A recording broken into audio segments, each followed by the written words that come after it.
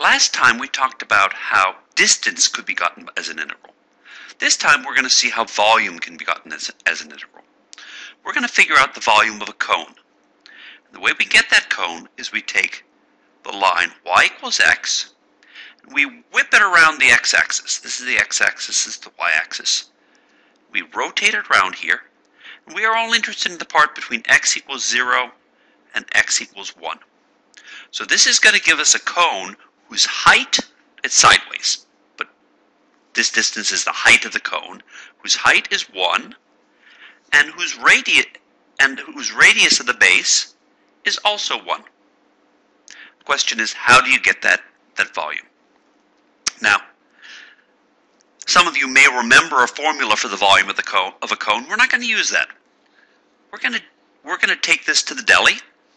We're going to think of this as say the shape of a piece of roast turkey or ham, and we're going to put it into the meat meat slicer. We're going to slice it into a bunch of pieces. We're going to figure out the volume of each piece, and then we're going to add them up. So here we put it into the meat slicer, and out comes a slice, and out comes another slice, and out comes another slice, and out comes another slice. And we slice up our uh, turkey, and we say that we want the total volume. So the total volume is the sum of the volume of each slice.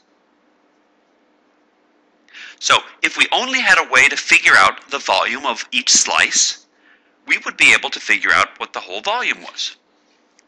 But we kind of do know. Because when you get a slice, it's basically a disc. It's got a certain thickness, and it's got a certain radius. Now, it's not exactly a disc. It's a little bit thicker over here than it is over here. But to an awfully good approximation, each slice that you get out of the out of the uh, meat slicer is going to be a disc. So if you think about it this way, here we take x goes from 0 to 1. x0 is 0, xn is 1. We slice the interval from 0 to 1 into n pieces, and then associated with each piece is the slice of meat, or the slice of cone, or the slice of whatever it is that you're talking about. So the slice is a disk of radius. Let's see, the radius is y. But we said that it, this was along the curve y equals x. So the radius is x. And so the area is going to be pi times x squared. And the thickness is delta x. Now, I've gotten a little bit sloppy with my notation.